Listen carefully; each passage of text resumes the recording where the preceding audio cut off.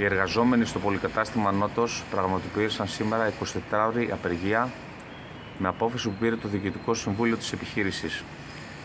Οι εργαζόμενοι πραγματικά με αποφασιστική στάση, σχεδόν στην απόλυτη τους πλειοψηφία,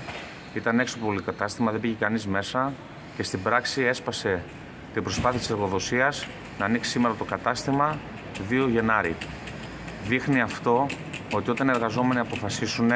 μαζί με επιχειρησιακά και κλαδικά σωματεία όπως την Ένωση Εμπορυπαλλήλων που στηρίξαμε από την πρώτη στιγμή τα δίκαια αιτήματα των συναδέλφων, μπορούν να σταματήσουν τις ωρέξει εργοδοσία και να βάλουν πρώτα τις δικές τους ανάγκες και όχι τα κέρδη της εταιρείας που δουλεύουν.